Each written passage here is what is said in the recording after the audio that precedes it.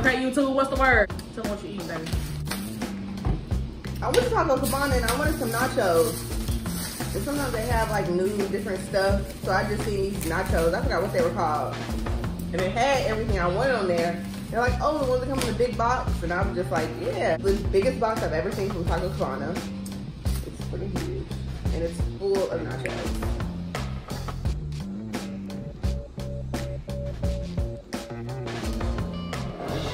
I got lasagna fritter from Olive Garden. Y'all know I cook for Olive Garden. Close up, baby.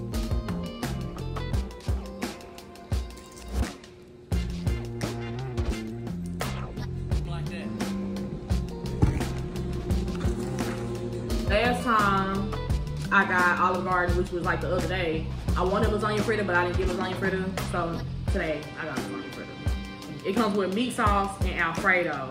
And I got extra Alfredo and extra meat sauce. Um, this is some spaghetti with meatballs. So I'm gonna fuck it up. To.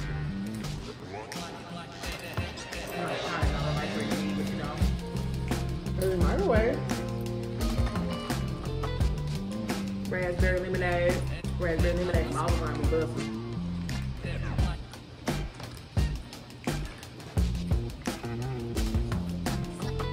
I got a strawberry margarita. And it's almost gone. We just start eating. Since someone only likes to eat at certain places, I had to go to two different restaurants to get food. So, and I had already started drinking and eating before we started recording. Boo. She a day drinker. I'm not. The video that I posted um, before this video, eating at 54th Street, she got a drink, a margarita, and I didn't because I don't drink during the day. But I don't drink at all now. This year I had not drink at all. But even before when I was drinking, I don't drink during the day. Look, I was out there playing the saxophone. I was out there on Christmas, around the holiday time. So I posted a video around the holidays with Christmas of a guy playing a trombone. It was a trombone. Young boy out here with the trombone. What's up, man? That's what you talking about, saying that that guy was out there. What was he doing this time? Anything he was doing there. He was Making playing his money. He was playing trombone. hmm Oh, what kind of music? I couldn't make out the song he was playing. So we literally been like lazy all day. But after we eat, we going grocery shopping. We don't have to. But I'm eating now. I know I thought you were gonna take a nap. And I really don't gotta eat. Like, I'm not even gonna eat all this, and I can eat the rest of it later. So maybe we can go tomorrow. Yeah, I'm definitely But, not gonna eat all this. but we've been eating out lately because, like, we don't want no um, home food. We've been eating home or house food, like, for at least a month. And if you know me, you know, we be at the restaurants. All of them. I got excuse my hair, it's not done. Video yesterday, I looked at me in my fresh because I had just took it down. But I done slept on it, put it in ponytail, took it out of ponytail. Next time I get on camera, it'll be done. Hopefully. Yeah. It's on the to-do list. Y'all ain't had lasagna fritters from Osborne, you better eat you some.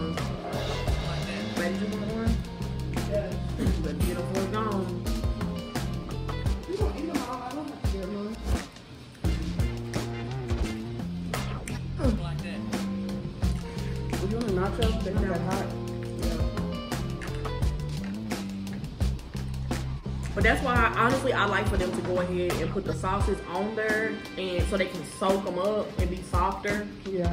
You know, when you want them to go, they don't put the sauce on them, and then so like they just be kind of hard to eat dipping the sauce. Look how she do her. You should do it on camera, cause that's not on camera. Get it right so it can marinate. Sauces can get up in there.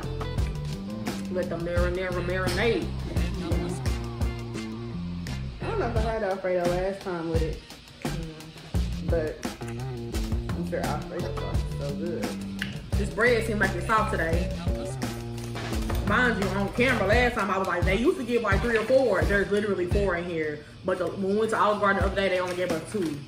and I ordered a whole dinner side chicken alfredo with soup, and they only gave two. But see, I don't even like the bread, so they really cannot give me none. But because they're soft today, and I got extra alfredo, We're gonna fuck with them. I know it's like this top part is really hard and crunchy, but the bottom part is soft. so these are the same. Oh, there's no way. Oh, that's kind of call is flame. Do it. Do it so we can get that gift card. You know, y'all know, man, got me fucking up the licking like. Oh man, not the looking lay. Buy your shirts, y'all. Looking lay. Shopify on my Instagram. Looking like with Righteous Ray. Click shop now so as you get on my Instagram. Looking like with Righteous Ray.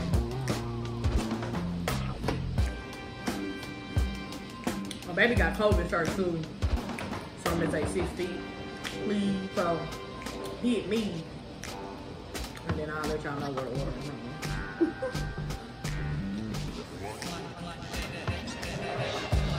More designs coming soon.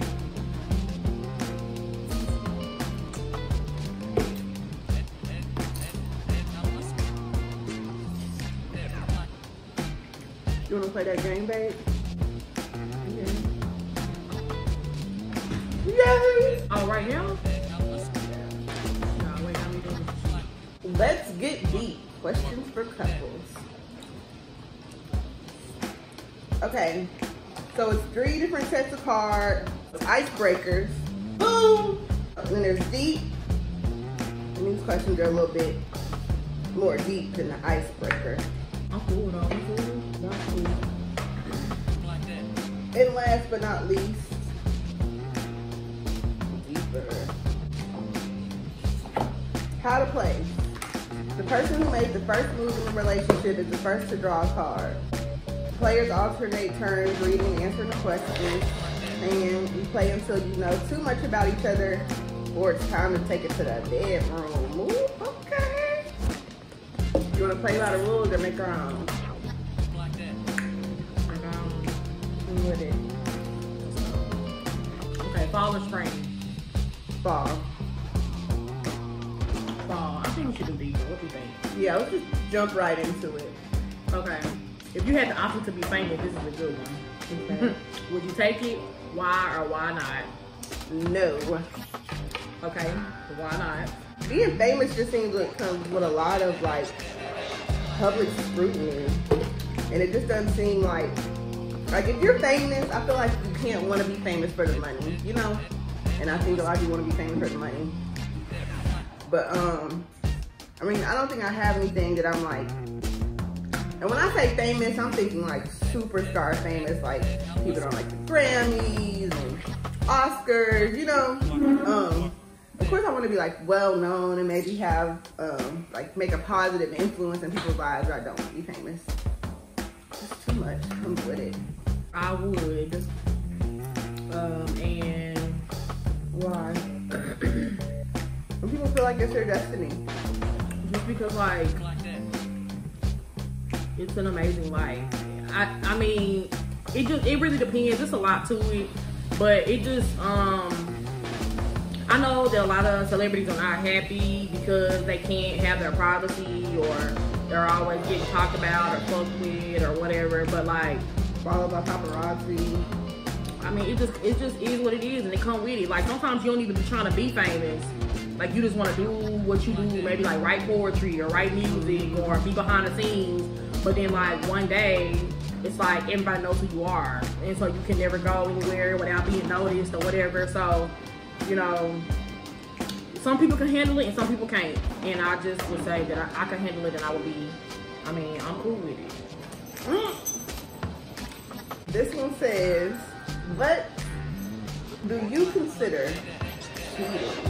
I consider cheating. I guess anytime that you're like into or even like thinking about maybe like fucking with someone else. Now, I know obviously like you would have to actually act on these things to be like caught or in maybe in trouble. And not everybody watches porn, but I'm just saying like say you watch porn.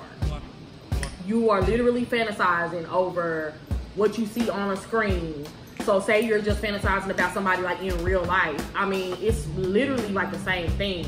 I understand that people may not think of it like that, but it's the same thing. And some people do consider that cheating. Um, I don't necessarily like for me. I don't like. Okay, you watch a porn. Okay, you think such and such is fine, or you think this woman or this man is fine, but I feel like when you actually act on those feelings and thoughts, um, then that's when it becomes cheating. And obviously, just like sex, kissing, touching, maybe even like hanging out. I feel like smoking blunts together is kind of cheating too because bitches kind of be feeling like it's more than what it is just because they get to smoke a blunt with a nigga type shit, you know? But it depends. Not everybody's like that. I'm just saying, maybe like your personal experience. I consider cheating. You have a relationship that is deeper than a friendship with somebody. Um, and it like that to me is like cheating because I feel like whenever you cross that line, it is like almost inevitable that the physical aspect is going to come next, and that's like definitely cheating. So that's what I feel like cheating is, you know? Because I feel like whoever you're in a relationship with, or whoever your partner is, you should and talk to them and share those things that people in relationships do. Whenever you feel yourself kind of like pulling back from your partner, and you like looking to somebody else for that like emotional support, you know, physical support, sometimes it's financial support or whatever, like that to me is just completely unacceptable. Agreed. So I feel like that's what cheating is. You wanna go again? Sure. Let's see. What is the scariest memory you have? Oh my god, a lot of scary memories. scary. But the one that came to my brain first was uh, the night that I was about 14 years old, and a man was in my room tickling my toes. That's story. It's a whole nother. It's it's. We're not gonna get into like everything that happened or whatever on this video. Maybe I'll make another one. If y'all want another one, y'all can comment and tell me y'all want like the full story. Yes. I actually told the full story on my TikTok, but if you follow me or have been following me or fuck with me, you should know that they deleted my TikTok. So um, I have a new TikTok where I don't think that I have posted that video of me talking about what happened that night. But I could, I can, really I can just post like a, cause I did like part ones, part twos. This was before TikTok had three minute videos that I had made this video. So I had to do like part one, part two, part three. But I can just put the parts together and actually post a YouTube video instead of like retelling the story. But yeah, the night that a man came into my bedroom, mind you, my bedroom was on the second floor. So he climbed the balcony some kind of way, which there's literally nothing underneath. So I don't know how he got up there, but I think he was a tall man though, because I know I know who it was now. But uh, then it was I was a 14 year old with a man in my room, like standing over my bed at the end, like tickling my feet. So that's the scary. That was one of the most scariest times. terrifying. You want to find out how? You gotta wait for my video. My scariest memory. Okay. I was in a bad relationship, like really, really bad. And one time we got to fighting and arguing. Whenever I felt like I could empathize and understand where people on that show Snapped were coming from, and like my mind space just wasn't where it was supposed to be, because I was thinking any and all costs to make my situation different. That's probably the scariest because it's like really scary to be in that type of mindset. Thank God that's in the past. Would you accept a million dollars to leave the country and never set foot in it again? That's the one I put back. Because I already knew what you was gonna say. What is your ideal day to spend together? You wanna go first or I go first?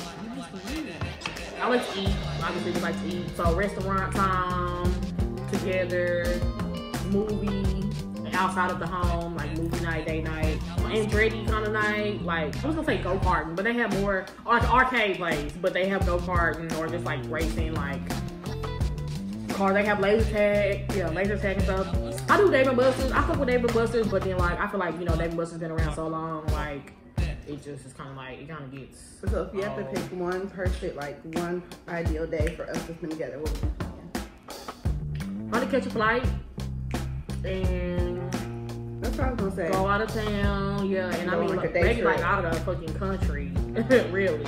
Yeah. Cause like I said, I'm ready to go. Hmm, you know, by the beach, nice view, like over the water, in the Maldives, or I mean, I really don't care. It could be Israel, just out the country.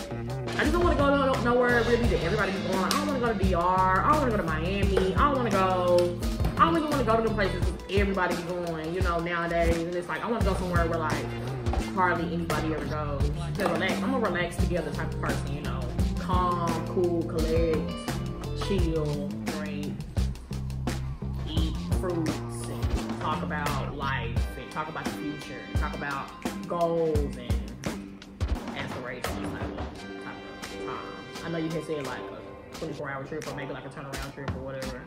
But not not going out the country, we have to stay for a couple days. I'll take my ideal day, I go on a trip, somewhere fun. Um, but if it was like just like something realistic and practical that we do all the time, like I gotta pick my favorite days we spend together. Probably like days when we go and get food. And I know is cheesy, but like we have car dates and are just they hold a special place in my heart. We like turn Netflix on and set it up and just sit there and eat wherever we are. So I like my food hot. Yeah. So the whole like driving home shit and the food being, it being cold by the time we get home, I don't fuck with that. It just makes me happy to be in that type of moment. And then come home and chill, relax, get a little foot rub, a little massage, you know, turn on some Little Netflix. booty rub, that's the thing